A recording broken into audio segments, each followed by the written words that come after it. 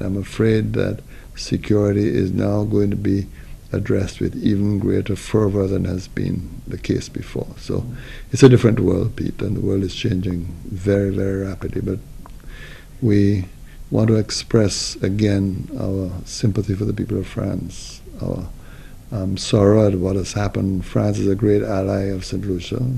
The French have a very special place in our hearts, and we want to tell them that in this very difficult time, we share all the anxieties, all the sorrows, and all the pain that they have had.